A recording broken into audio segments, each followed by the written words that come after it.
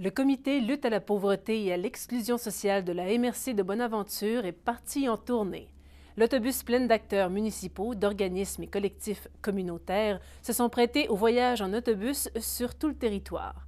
Des arrêts dans nombre d'adresses où travaillent les regroupements dévoués à la communauté étaient au programme tournée des organismes communautaires, c'est en lien avec notre plan d'action local.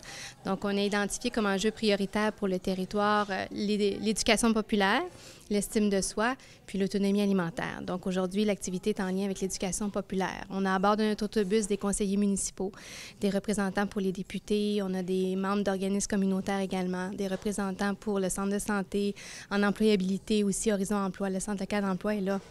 On est une quarantaine dans l'autobus, donc j'en oublie. Mais l'objectif de l'activité, c'est vraiment de mieux nous connaître, de faire connaissance ou de refaire connaissance. Alors, je suis très, très, très contente euh, de vous rencontrer dans cette belle autobus. C'est une belle journée, une belle tournée si les gens avaient déjà une certaine idée de qui les organismes étaient, mais de aussi visiter leur installation puis leur permettre à eux de nous montrer des activités qu'ils réalisent avec les gens.